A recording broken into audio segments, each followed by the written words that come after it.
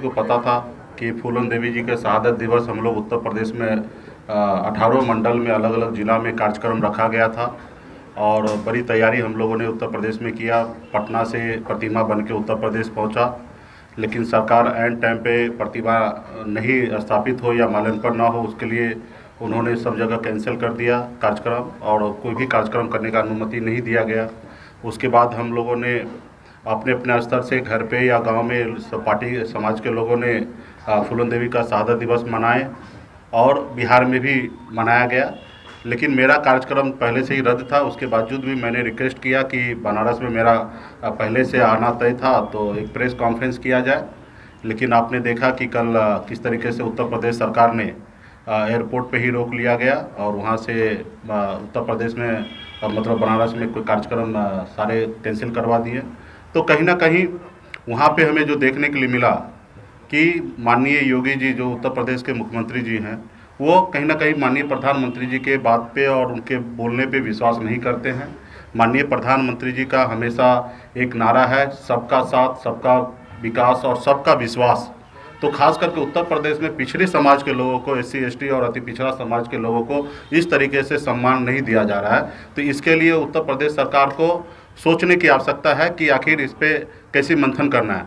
ये बात तो अलग है कि सनब मल्ला का डर उत्तर प्रदेश में दिखा।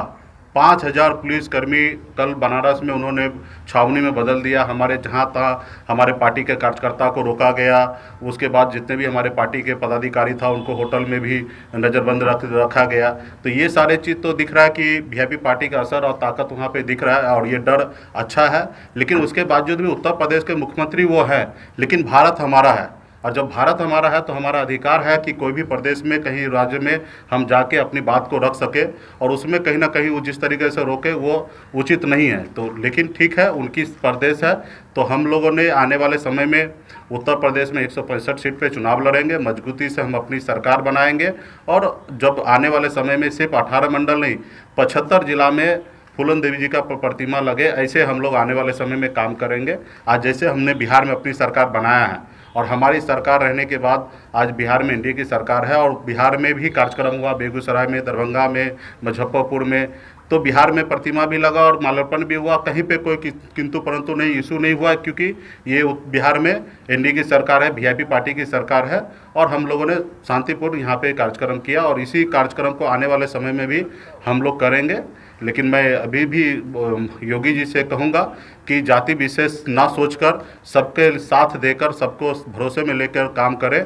और मैं चाहूँगा कि पिछड़े समाज का वहाँ पे सुना जाए। सरकार क्योंकि हम बिहार में एनडीए के साथ है, हमारे बिहार में ही सिर्फ़ संबंध है। बिहार से बाहर हमारी संबंध नहीं है। हमारी सोच है कि बिहार में, झारखंड में, उत्तर प्रदेश में, उड़ीसा में, बंगाल के कुछ हिस्से में पार्टी को मज़बूत करेंगे ताकि 2024 में हम 2024 में ज़्यादा से ज़्यादा सांसद पहुंचाएँगे और हमारी जो मुख्य मांग है निशा समाज को आरक्षण लागू करवाना।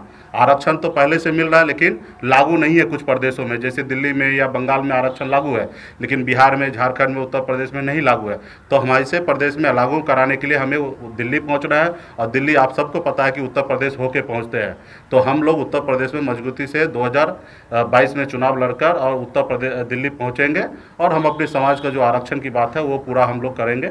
तो इसके लिए और मैं योगी सरकार को कहना चाहूँगा कि भविष्य में ध्यान रखें, इस तरीके से किसी प्रदेश के नेता को, मंत्री को इस तरीके से कस्टडी में ले लेना, ये मुझे लगता है कि सही नहीं है। अगर ऐसा ही रहा तो एक दो नहीं, सैकड़ों हम बिहार राज्य में भी दूसरे प्रदेश से नेता को आने से मना कर सकते हैं। लेकिन हम बिहार प्रदेश में माननीय मुख्यमंत्री जी के नेतृत्व में सरकार चल रहा है और मैं नहीं चाहूँगा कि इस तरीके से किसी भी नेता को बिहार प्रदेश में अपमानित हो या उसको हम लोग रोक ले तो ये कहीं ना कहीं अच्छा नहीं है। तो ऐसा अगर हो तो फिर तो पूरे भारत में एक दूसरे को, नेता को रोका जाएगा। तो ये सही नहीं है, ये परंपरा सही नहीं है। योगी जी को इस पर विचार करें। अब बेगर कोई कारण का और एक व्यक्ति को से डर से अगर आप, अगर इस तरीके से आपका लॉ एंड ऑर्डर बिगड़ सकता है तो फिर आप कैसे सरकार चला रहे हैं? फिर तो आपको सोचना है, आपको विचार करना कि आपको इतने बड़े प्रदेश का मुखिया आप कैसे बने हैं। तो इसके लिए आपको हर नेता को, हर जनता को आपको सुरक्षा देना आपका काम है, आप सरकार में है। आज जैसे हम लोग सरकार में तो हमारा हर एक जवाबदेही हम पे बनता है। माननीय मुख्यमंत्री नीतीश कुमार जी पे बनता है कि बिहार के हर एक नागरिक को सुरक्षा देना, उसी तरीके से उत्तर प्रदेश सरकार का भी बनता है। तो कहीं ना कहीं हमें ये देखने के लिए नहीं मिला। भविष्य में भी इसी तरीके से बहुत सारा कार्यक्रम होगा। अगर ऐसे अगर किसी प्रदेश का मुखिया का अगर ऐसा मनमाना हुआ तो तो ये तो भविष्य में अच्छा नहीं रहेगा कोई भी प्रदेश के लिए, कोई भी राजनेता के लिए।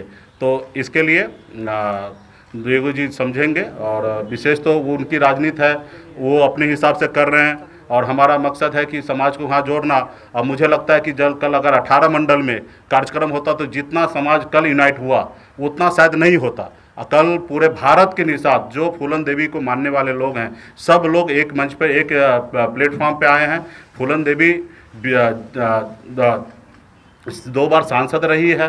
चंबल से लेकर वो सफ़र को तय किए सांसद तक पहुँचे सम्मानित पद पे रहे हैं। उसके बाद उनका हमेशा विचार रहा सपना रहा कि पूरे भारत के निषाद को एक करें। आज उन्हीं के बताए हुए रास्ते पे हम लोग चल रहे हैं। मैं तो मानता हूँ कि फूलन देवी अभी भी ज़िंदा है। आज उनके बताए हुए रास्ते पे उनके विचार पे आज हम लोग काम कर रहे हैं और समाज को जोड़ रहे हैं।